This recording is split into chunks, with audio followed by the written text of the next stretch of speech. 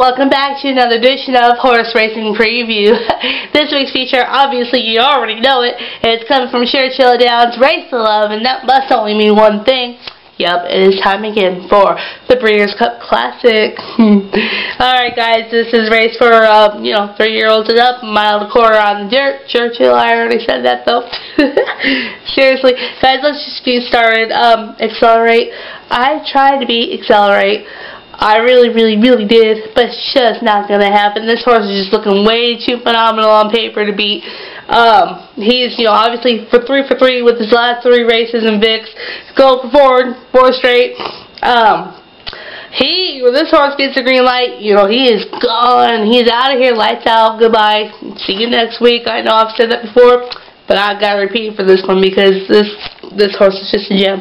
Um, you know, but I like also that for every race that he's won that I could see, his margin of length uh, that he wins by improves like really drastically throughout the race, which so that's cool to me. I love that. Um, you know, and also he has Joel Rosario rode him the last few times out. He rode his 12 length victory, you know, second from last start. So these two make a great pair. You know, it's going to be all Joel and Accelerate on Saturday. Uh, Alright guys, moving right along. West Coast, I like West Coast. He's a great stalker. Alright, uh, he's just going to continuously hang around this pace, uh, but then he's going to try to make a sneak attack on the leaders and catch them.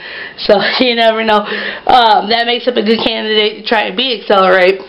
Um, let's see. He uh, got himself, you know, West Coast also got himself into a little bit of a habit of running second, like the last three starts. So he might just actually have to sell for second because of that right there. no, guys, seriously, look back in West Coast's past performances, win, win, win, win. So really, he is the also um, the best choice to try and beat Accelerate in my mind.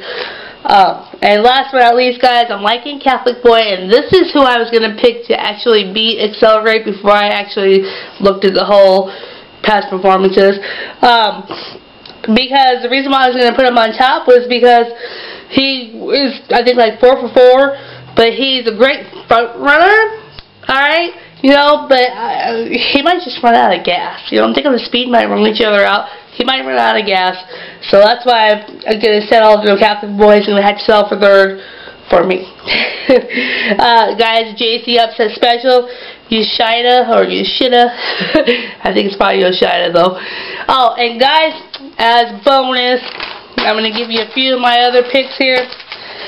Um, let's see, race four. I got two running in race four that I like, so I got exacted for you.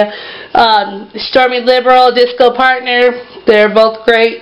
Uh, race six, I'm like a Fourstar Crook. You gotta go with the cool name, Fourstar Crook. That kicks ass. um, race nine's obvious. You know, this down from Monomoy Girl. There's just no beating her either. Um, and also Super Chalk coming up, but hey, you know, find a long shot to go with them. In race 10, I'm liking Robert Bruce. So there's a few of my other picks for Saturday. Guys, thank you so much for watching me all this whole time. Thanks for reading my blog. And if you do want to read what I just told you each and every Thursday, you can stop by facebook.com slash JC's Horse Racing Preview. And also, please like and share and subscribe so you will know exactly when one of my videos is posted and be one of the first ones to watch. So... Guys, uh, thanks for stopping. Have fun this Breeders' Cup weekend. I hope it's not too raining in Churchill. Mm, we'll have to wait and see. Um, see you next week. Catch you later.